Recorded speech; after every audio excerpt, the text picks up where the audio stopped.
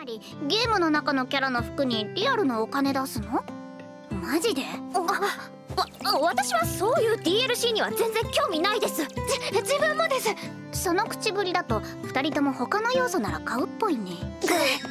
水着衣装とか買うぐらいなら普通に。あ何でもありません。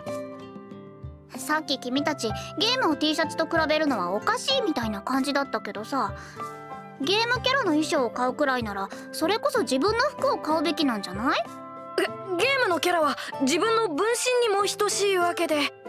現実で服を買うのと何ら変わらない行為と言っていいんです。ですです。そうなの？でもやっぱり実用性のないものにお金を出すのって。実用性はありますよ。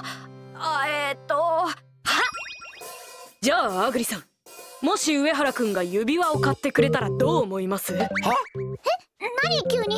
そんなの嬉しいに決まってるじゃん。では指輪をもらったらアグリさんはそれを装備しますか？しませんか？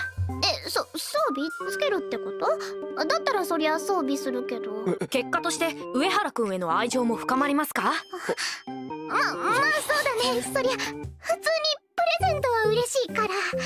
はい。この時点でアグリさんは DLC の概念を受け入れたことになります。ほほうなるほどなるほど。っていやいや全然違うよね。要はこういうことですよ。上原くんは今回アグリさんという美少女キャラの好感度アップアイテムを。リアルマネーで買ったんです！いや言い方。なんか引っかかるその言い方。なるほどもし逆にタスクがなんやかんやでデータ上の存在になっちゃったらアグリも課金プレゼントやらをたくさんするかもだね。おい待てそもそも俺がデータ上の存在になるなんやかんやってなんだよ。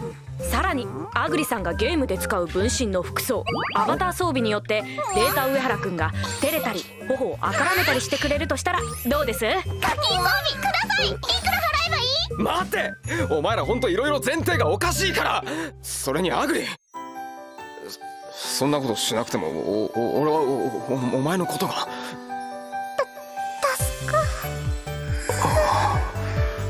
という悶絶イベントを起こすためのガチャが今なら1回300円で回せます。マナッチアグリそれ100回回す毎度ありです